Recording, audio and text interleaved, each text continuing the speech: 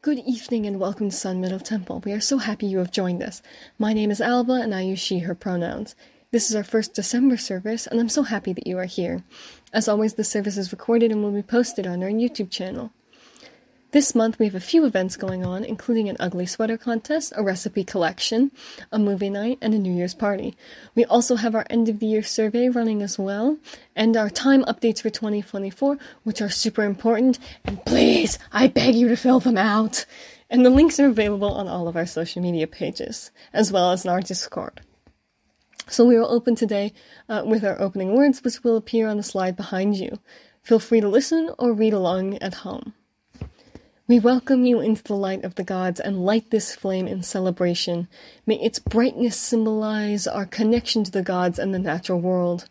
May you join us in this community of faith, cherishing love and with open hearts.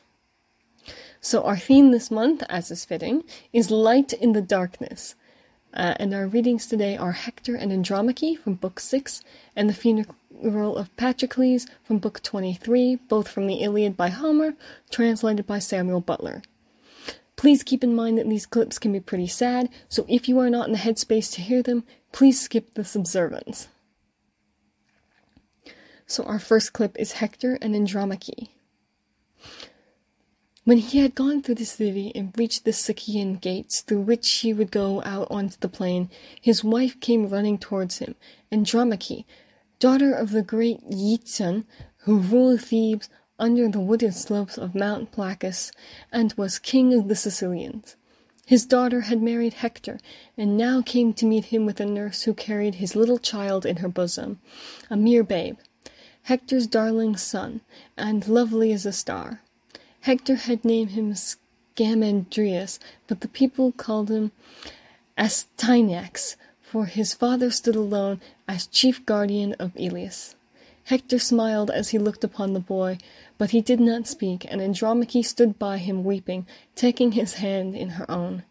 Dear husband, said she, your valor will bring you destruction.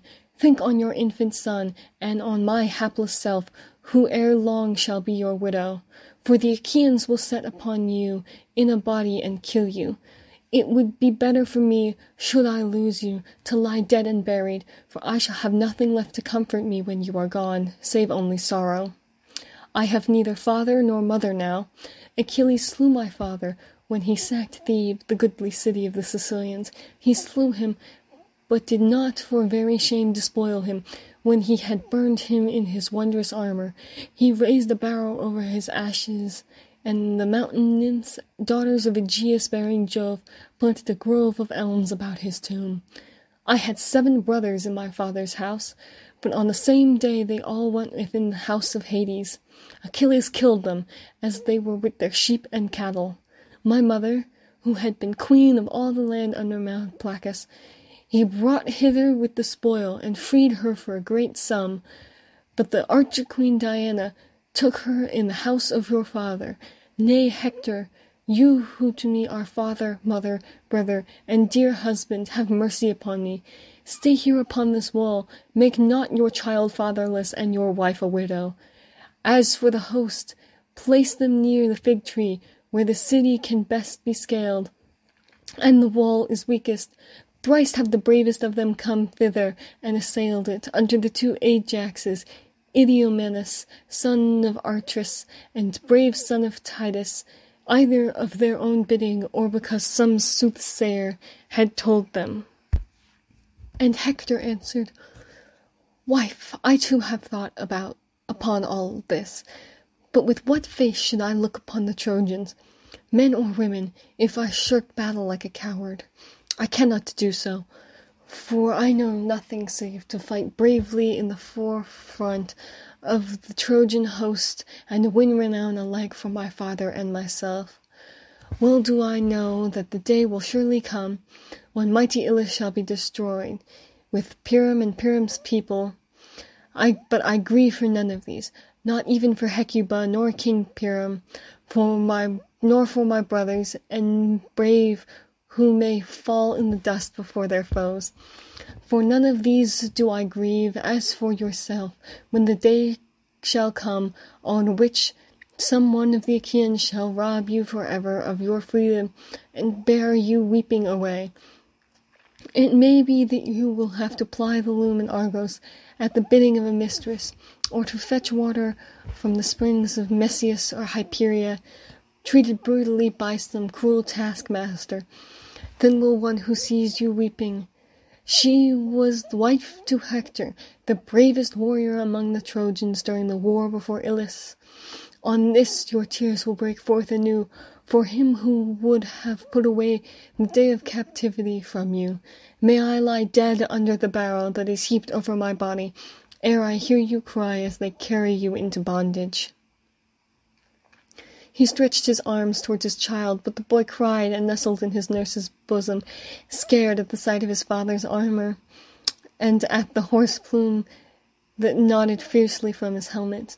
His father and mother laughed to see him, but Hector took the helmet from his head, laid it all gleaming upon the ground. Then he took his darling child, kissed him, and dandled him in his arms, praying over him the while to Jove and to all the gods. Jove, he cried, Grant that this my child may be even as myself, chief among the Trojans. Let him be not less excellent in strength, and let him rule Ilius with his might. Then may one say of him as he comes from battle, The son is far better than the father.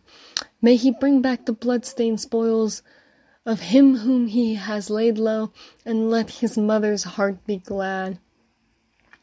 With this he laid the child in the arms of his wife, who took him to her own soft bosom, smiling through her tears.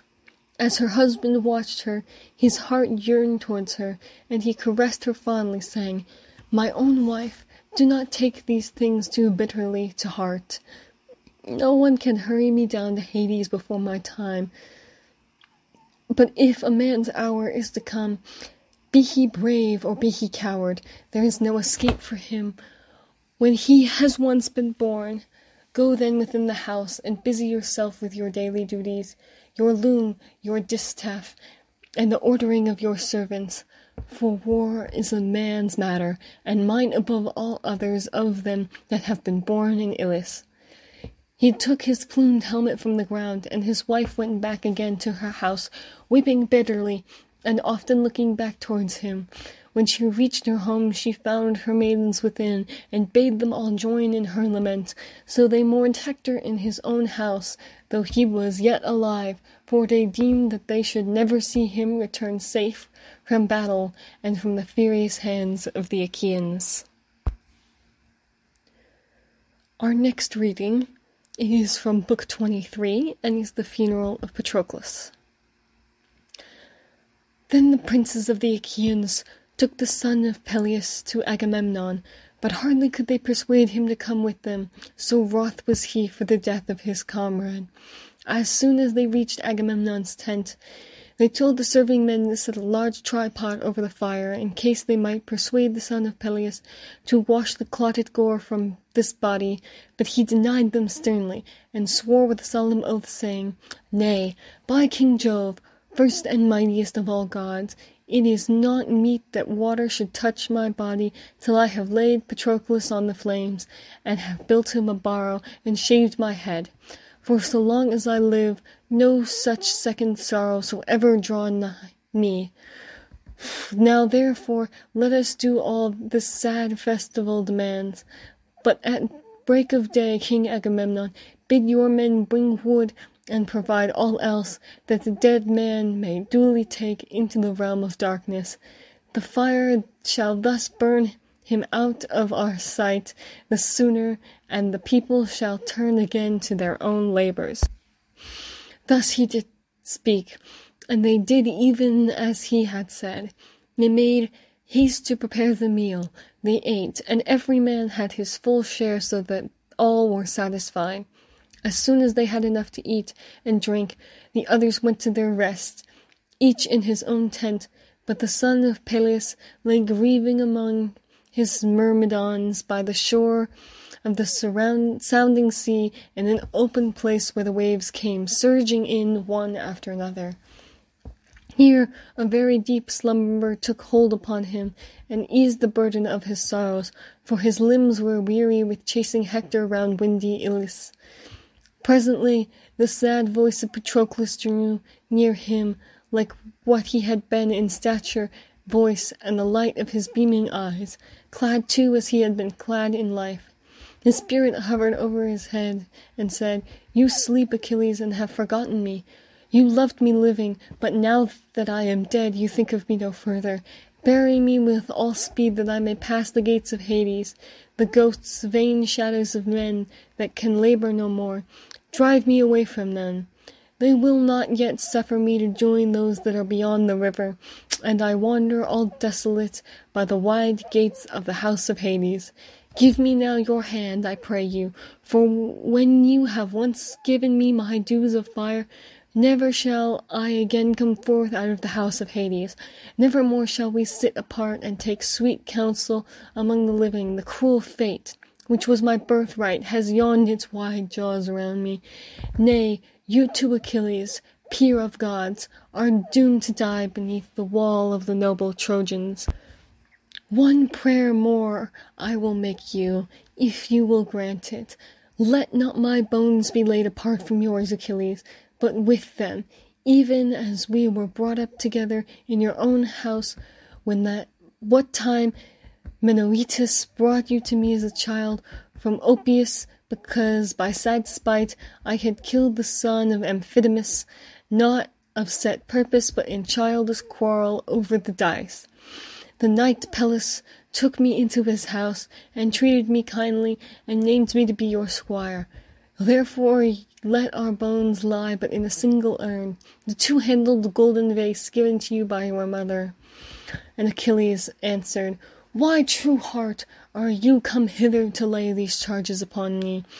I will of my own self do all as you have bidden me. Draw closer to me. Let us once more throw our arms around another and find sad comfort in the sharing of our sorrows. He opened his arms toward him as he spoke, and would have clasped him in there, but there was nothing, and the spirit vanished as vapor, gibbering and whining into the earth. Achilles sprang to his feet, smote his two hands, and made lamentation, saying, Of a truth, even in the house of Hades, there are ghosts and phantoms that have no life in them. All night long the sad spirit of Patroclus has hovered overhead, making piteous moaning, telling me what I am to do for him, and looking wondrously like himself. Thus he did speak, and his words set them all weeping and mourning about the poor dumb dead, till rosy-fingered morn appeared. Then King Agamemnon sent mule, men and mules from all parts of camp to bring wood, and Meriones, squire to Idomeneus, was in charge over them. They went out with woodsmen's axes and strong ropes in their hands, and before them went the mules. Up hill and down dale did they go, by straight ways and crooked, and when they reached the heights of many fountained Ida, they laid their axes to the roots of many a tall branching oak that came thundering down as they felled it. They split the trees and bound them behind the mules, which then wended their way as they best could through the thick brushwood onto the plain. All who had been cutting wood bore logs for the Meriones squire to Idomeneus had bid them. And they threw them down in a line upon the seashore at the place where Achilles would make a monument for Patroclus and for himself. Both of these stories are about retaining humanity and light in the midst of war and darkness. In the first, Hector and Andromache celebrate their son and love him, and in the second, the Greeks stop to say goodbye to a fallen comrade, all in the midst of war. All of these people embrace the darkness, and the light that occurs seems even brighter by contrast.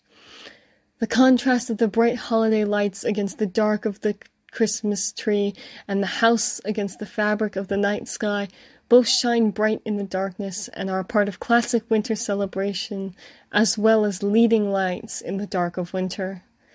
Gifts, family, friends, and food All bring light to the darkness of winter, or adding light to it if you're in the southern hemisphere. Embrace the darkness in contrast to the night and celebrate the contrast. We will now move into the ritual part of the observance. If you want to, you can join us at home or read the words aloud or just listen. Say, please remember to do the end of year um, survey as it has some questions on this part.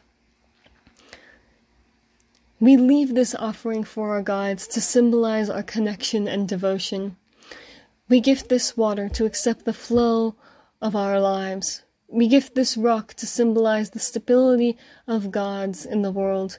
We welcome life and bless our offerings with oil to share our riches. We embrace our connection to each other and the world and celebrate our revival. As we move out into the world, let us remember our community of faith. Cherish love and open your heart as you walk through life. Hold dear the light of the gods and our connection with the natural world. Go forth in celebration and carry the light of connection within your heart. Good evening and welcome to Sun Meadow Temple.